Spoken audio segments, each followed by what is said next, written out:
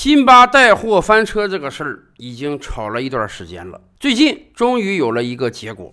辛巴团队承认，可能是他们选品不慎，也可能是被厂家欺骗。他们带货的这个燕窝产品实际上是燕窝味儿的糖水，因此辛巴团队负起责任来，不单给每一个消费者退款，而且退一赔三。这一通操作下来。辛巴团队将付出超过六千万人民币，这绝对是直播带货以来最大的一笔赔款。辛巴团队能这样做，一方面说明人家有社会责任感，知道不能欺骗自己的粉丝；另一方面，我们也绝对了解辛巴团队的产值绝不止几千万人民币这么点儿，人家未来瞄准的是上百亿、上千亿的市场，所以。不能因小失大，既然犯错了，就赶快做出道歉，及时止损，这也是一场很好的公关啊！让辛巴的粉丝们知道自己的主播还是很爱护他的家人们的。一旦犯了错，不但家人们能够得到赔偿，而且赔偿的数额是绝对让大家满意的。这个事情算是过去了。然而，留给我们的思考却是很深刻的。今年这一年最火的经济业态，绝对就是直播带货了。打开各种各样的短视频平台、小视频平台，随时随地啊，我们都能看到有人在直播。以往嘛，直播的时候可能是个漂亮的小姑娘，有几分颜值，有几分才艺，跟你唱点歌，让各路大哥给你一路打赏。而今天，大家直播的目的。就是卖货，似乎所有的短视频从业者，不管你是讲文化的还是讲历史的，不管你是做剧情的还是搞演绎的，大家都找到了同一条变现的道路，那就是直播带货。然而，经由辛巴这个事儿，我们真得提醒一路网红了：直播带货它不是个简单的事儿。以往我们的经济业态啊是这样的。一个大公司生产了一款新产品，人家要打广告。打广告最好的方式呢，就是请演艺明星代言，因为演艺明星的粉丝看到自己的偶像代言了一款产品，无论如何，我们是要去试一试的，这是一种同理心。所以，以往在各种屏幕上，我们能看到很多演艺明星的代言。这似乎跟今天的网红直播带货有异曲同工之妙，然而不太一样。为什么？以往请得起演艺明星做广告的公司啊，几乎规模都不会太小，因为请一次明星打一次广告是花很多钱的。而对于明星来讲，虽然相关法律规定啊，你要给某个企业某个产品做代言，你好歹得了解。这个企业啊是个正规企业，在工商注册、照章纳税。这个产品啊，好歹是个正规产品，起码有这个生产销售的许可证明。但是从另外一个角度上讲，我们每一个看明星广告的消费者都知道，他甭管给什么产品代言，明星本身不可能是生产者。不是说我给洗发水代言的明星，我就知道洗发水怎么调配；我给减肥药代言的明星，我就知道这个减肥药是怎么生产出来的。我们对于明星的基本要求是啊，好歹你代言的产品你用过，而且至少在你使用的时候呢，你感觉这个产品还不错，所以你把它推荐给消费者。那么以往一旦明星代言的产品出现了问题怎么办？其实。我们板子也是很难打到明星身上的，顶天的就是让这个明星啊把他的代言费吐出来也就罢了。就像有些明星说的那样，企业是正规企业，工商核准他注册了；产品是正规产品，人家有各种各样的生产流通许可证啊。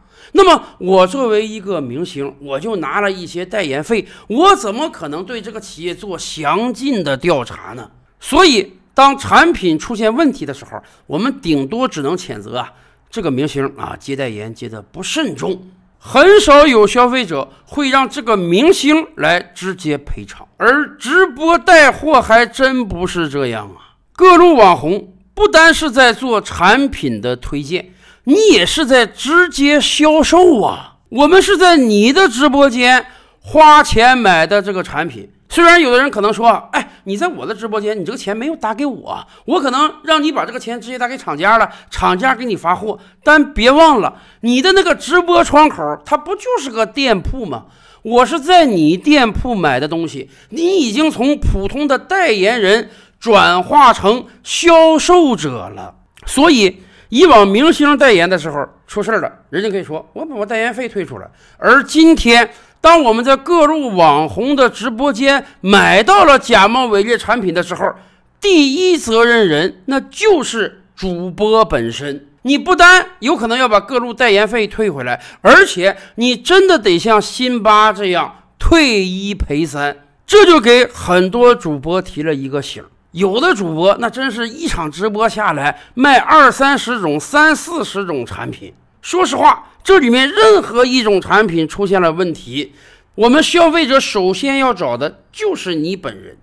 所以，虽然直播带货是个巨大的风口，但是这对于主播团队来讲要求也是很高的。辛巴那么成熟的团队都会出现选品的失误，何况你呢？我们更有很多小主播，其实根本就没有选品团队，他们就是直接在产品库中选择人家商家上架的产品，可能这个产品自己都没用过，就敢推给消费者，这对你而言也是一个巨大的风险呀。主播有风险，对于我们消费者来讲，又何尝没有风险呀？这么些年来，网购在我国的发达，让我们很多老百姓。对网购是无比信任的，这要说真是一个奇迹。按说啊，咱们这个社会上坑蒙拐骗的事情非常多。以前我们就流传一句话嘛：“无商不奸。”对于很多老百姓而言，曾几何时，我们到实体店买东西的时候，都担心买到假冒伪劣产品。然而，为什么这些年来我们对于网购非常信任了呢？因为过去十几二十年，网购提供的是跟传统实体店完全不同的一套思路。因为知道买卖双方见不着面，所以阿里引入了支付宝的概念。哎，买家你先把钱放到我这个支付宝里面，卖家发货，发了货确认无误了，我阿里再把支付宝里的钱打给卖家。我在中间作为一个保证人的角色，让买卖双方都安心。此外，又引入了评价机制。今天每一个网上的卖家都非常担心出现差评，甚至出现中评都不太好。所以在传统的网上市场买东西的时候，相对而言被坑被骗的可能性是很小的。而过去十几年网购的发达，让相当一批消费者非常的信赖网上购物。甚至有人说：“哎，我到实体店买东西，我怕被骗。我在网上我从来不怕，为什么？网上那还有七天无理由退货呢？你寄给我一个东西，我觉得不满意，我随时随地可以退走，有运费险，我连运费都不要花。可以说，广大消费者对于网购的信任是互联网经济得以不断发展的基石，这也给了很多后来者机会呀。”今天我们在某个直播平台上，主播着力的推荐一件货品，你要去买的时候，很多是不走这个支付宝体系的，很多是让你先交钱，人家才发货的。这个事儿如果倒推二十年前，这个生意简直是没法做。我跟你面儿都没见过，我怎么敢先把钱儿给你，然后我等你发货？你如果不发货怎么办？你发的货不好怎么办？然而，过去二十年，我们对于互联网经济的信任，让这个生意做起来无比容易了。对于很多消费者来讲，根本脑中就没有这个弦儿了，说网上销售还有可能骗你。但是，我们真的不希望很多直播业的从业者伤害了消费者的这个信任。现在已经爆出有这样的黑心经营者了。他收了你的钱不发货，或者你收到的一个产品严重的名不副实，你想要退货是非常困难的。对于辛巴这样的头部主播来讲，那那自然现在不会出现这样的事情。然而，我们还有大量的尾部主播、腰部主播，如果在他们的直播间买了东西，难免未来不会出现各种各样的纠纷，而且。我们还得考虑到主播自己的承受能力啊！辛巴团队这次赔六千万，对于人家来讲那就是毛毛雨而已。可是对于那些实力不那么强的主播呢？如果他自己选品不慎，被供货厂家欺骗了，他把东西卖给了广大消费者，当消费者发现这个产品有问题的时候，厂家已经消失了。主播根本就没有能力去找厂家追讨，而自己又没有足够的经济实力赔偿消费者，那么未来绝对会一地鸡毛的。所以，我们真得提醒广大消费者：虽然我们对互联网经济是非常信任的，但是这不代表你的每一笔支出都有保障啊。对于很多视频从业者来讲，今年。大家似乎真的找到了一个变现之路，毕竟有那么多头部主播，人家赚了那么多的钱，一场直播下来，人家的销售额几个亿。